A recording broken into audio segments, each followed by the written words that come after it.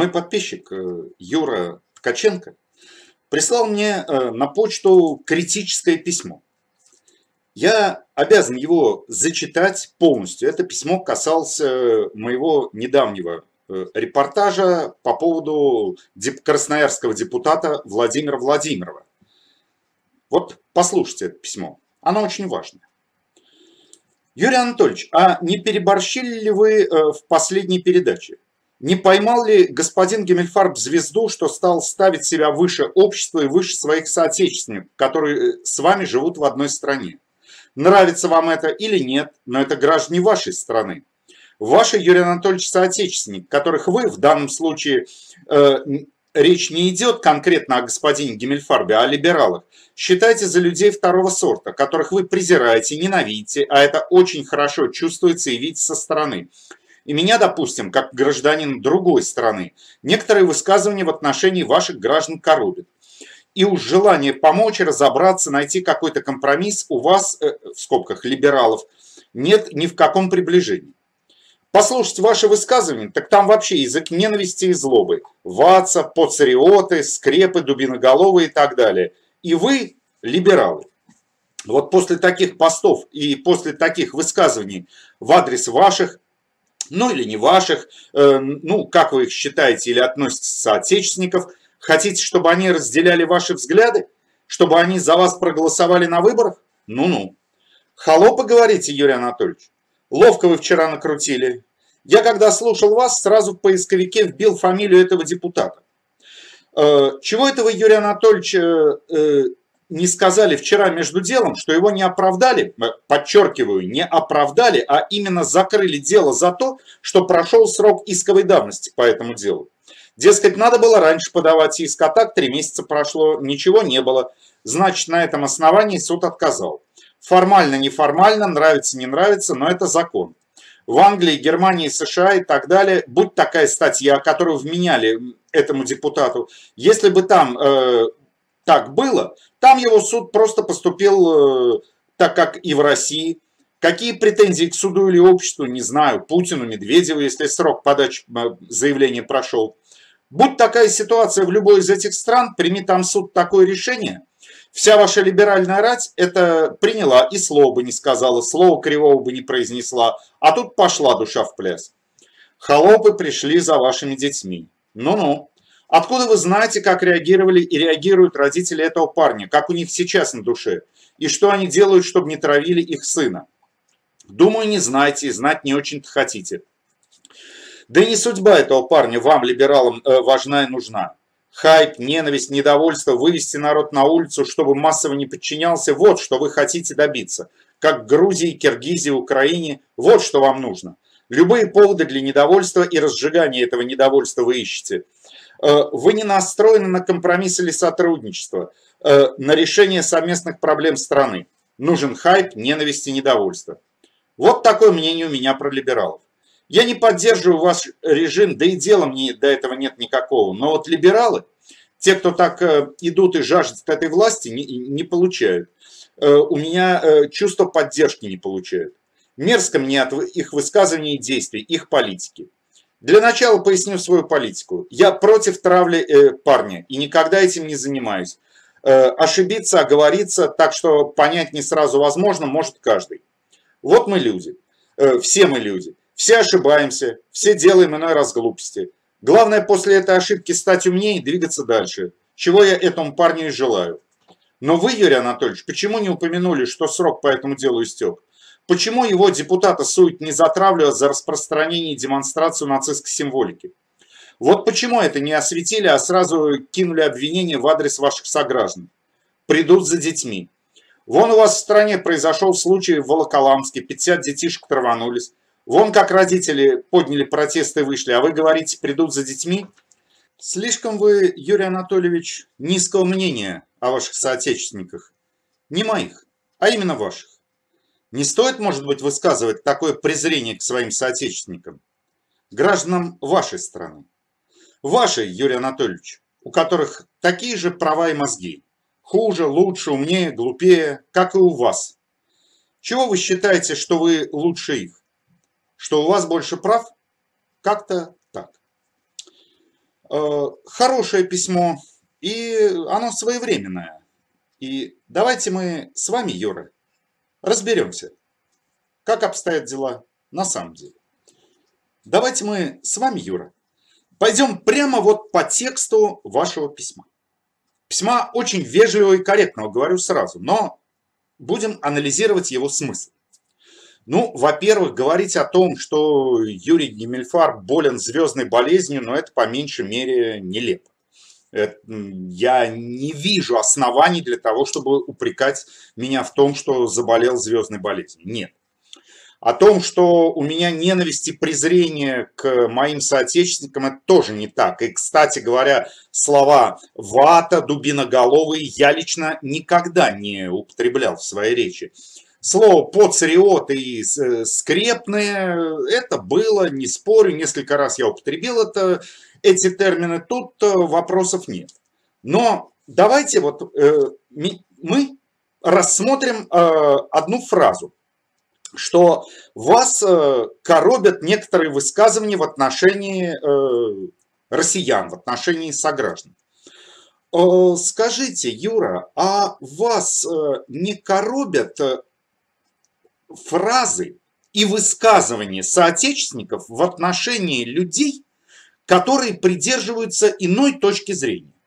Я имею в виду, ну, патриотов вы поймите, ну, как-то нам действительно надо употреблять как, какую-то терминологию. Вы употреб... Вам нравится слово «либерда», ну, давайте будем говорить «либералы», и противопол... на противоположном э, стороне, на противоположной стороне стоят, ну, давайте их условно назовем, патриоты. Если вам не нравится этот термин, предложите другой, мы это обсудим.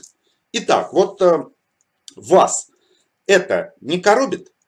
Вас не коробят э, высказывания, причем не в блогах, не э, на каналах на Ютубе, а на сервильных СМИ. Те выражения и те обвинения, которые позволяют себе э, маститые журналисты.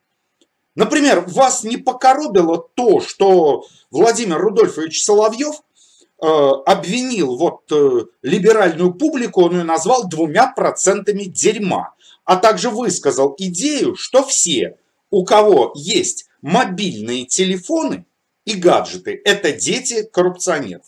Скажите, а это вас э, никак не покоробило? Э, а, ну нет, так нет. Хотя я всегда считал, что рано или поздно терпение у людей заканчивается, и аналогичная риторика пойдет и с другой стороны. Но, впрочем, в сторону риторику. Тут э, интереснее другое.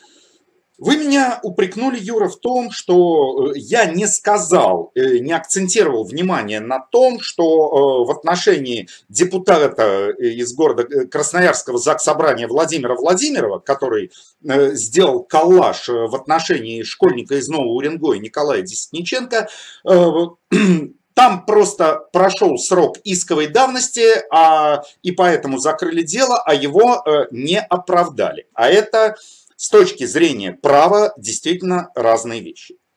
Э, вы, безусловно, правы, Юр. И э, я приношу свои извинения за неточность формулировки. Но э, если уж цитировать вашего покорного слугу, то согласитесь, Юра, корректно цитировать до конца. Я сказал, что это отнош... никакого значения не имеет. Абсолютно никакого значения не имеет. Давайте мы с вами подумаем, а сколько подобного рода дел было возбуждено и доведено до уголовного преследования в отношении простолюдинов, назовем их так, в отношении простых россиян, за самые невинные лайки и репосты, по которым уже срок давности давно истек. Вас, э, вот, э, Юра, это не смущает?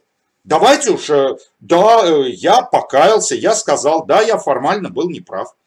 А, ну, вы мне на это что-то хотите ответить? А, ну нет, так нет. Это, как говорится, дело хозяйское. С другой стороны, вы, э, на мой взгляд, совершенно правильно поставили вопрос и абсолютно правильно сформулировали, что в Англии, США, Германии и так далее, если бы э, суд вынес такое решение, то все бы заткнулись. Совершенно верно. Но давайте мы сравним суды. Судьи в Соединенных Штатах, насколько мне известно, они избираются.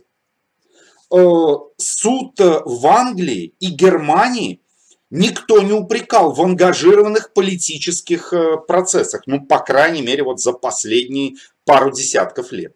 Ну, не было такого. Давайте уж будем справедливы. И э, с другой стороны, э, давайте и по-другому поставим вопрос. А вообще вот политические процессы, они разве заканчиваются только решением суда? Я имею в виду в отношении депутатов. Вот подобного рода обвинений. Я просто предлагаю вам, Юра, задуматься над простым вопросом. Что было бы, раз уж мы употребляем, э, раз уж вы употребили термин, э, э, название стран Англия, Германия, США, что было бы вот в этих странах, если бы, к примеру, вот такого депутата, как Леонид Слуцкий, обвинили бы в харасменте? Или э, такого депутата, как Владимир Владимиров из Красноярска, его бы э, безо всякого суда просто была бы газетная статья на тему того, что подобный человек, облаченный такими властными полномочиями, травит мальчишку. Я задаю риторический вопрос. Как вы думаете, Юра, как долго этот депутат оставался бы еще при своих полномочиях. Напротив, Юра, я предлагаю вам и нашим уважаемым зрителям просто задуматься, существует ли вообще в современной России понятие репутация. Я имею в виду репутация для чиновников, для депутатов и тому подобной братьев. Вообще, вот это понятие, оно э, употребимо, оно существует, когда господина Шувалова обвиняют, э, ну, мягко говоря, в коррупции, при этом он просто отмахивается от того, что да, это ерунда, и все, на этом разговор считается исчерпан. Когда депутата Государственной Думы Леонида Слуцкого обвиняют в харасменте, а при этом э, Вячеслав Володин, председатель Госдумы, он заявляет журналистам, не хотите, э, считаете опасным сюда ходить, меняйте работу. Кстати говоря, именно поэтому я по отношению к Государственной Думе и употребил термин «бордель». Далее, Юра, вы э, пишете две вещи, что э, с одной стороны я не знаю, как реагируют э, родители Николая Десниченко и тысяч подобных э, детей, и с другой стороны вы упрекаете в том, что моя задача там только хайп, вызвать ненависть, недовольство и вывести народ на улицу. Ну, э, разберемся вначале со вторым. Э, дело в том, что, опять же, Юра, я это повторяю уже, по-моему, в сотый раз. Я журналист, а не политик. Моя задача – заставить людей думать, показать им факты, показать, как это выглядит. И не более того. А решения принимают люди. И только люди. И вот, кстати, это же, э, этот же посыл, он является ответом и на первое ваше утверждение, что я не знаю, как реагируют родители этого парня, и что у них на душе, и так далее, и тому подобное, и что вам мерзко. Ну, минуточку. А я вижу, как люди реагируют.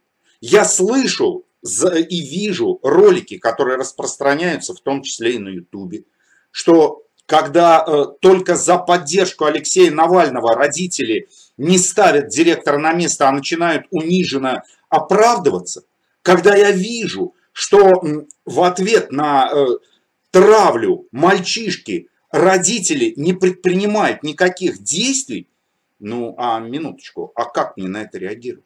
Я это показываю. Я показываю, как это выглядит. Но, кстати говоря, это совершенно не означает, что я низкое, э, низкого мнения о своих соотечественниках. Кстати, раз мы уж упомянули Николая Десниченко, то э, я не согласен и никак не могу согласиться с вашей фразой, что он ошибся, он оговорился и так далее. Я не считаю это оговоркой, я считаю это нормальным, э, нормальной фразой, которая характеризует молодого человека как гуманного и современного. Я не считаю, что он сказал что-то не то. Наоборот, я считаю, что на него накинулись совершенно не по делу. И оговоркой его фразу я бы не считал. Но это, как говорится, мелочи. Э, что касается э, презрения к моим э, соотечественникам, то презрения, конечно, у меня к ним нет никакого. Я лишь называю вещи своими именами. Как это выглядит со стороны, не более того. И в заключение, Юра, я хотел бы, чтобы справедливости ради, э, мы оговорили одну очень важную вещь.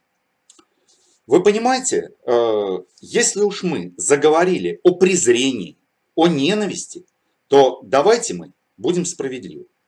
Ни я, ни мои единомышленники, мы никогда не говорили о том, что всех тех, кто думает иначе, нежели мы, нужно расстреливать, нужно ссылать на Колыму, нужно э, совершать разные жестокие действия. Я не могу их озвучить, иначе мой, э, ро, э, мой репортаж просто сейчас э, YouTube забанит и сделает это совершенно правильно, потому что я э, не берусь про прочитать вам и сотую долю тех добрых, в кавычках, пожеланий, которые мне доводится читать в комментариях ежедневно. Впрочем, и вы их тоже можете прочитать и ознакомиться.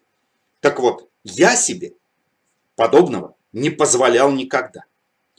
И мои э, единомышленники, и люди, которых я считаю друзьями и, безусловно, уважаю, тоже не позволяли себе ничего подобного. Но у меня в этой ситуации возникает один вопрос, Юра, уже к вам. А не кажется ли вам, что предъявляя подобного рода претензии мне э, и либералам в моем лице, вы не предъявляете подобные претензии э, к другому, к противоположному лагерю. Вам не кажется, Юра, что это, ну, я очень мягко скажу, что это двойные стандарты? Вот подумайте над тем, что я сейчас сказал.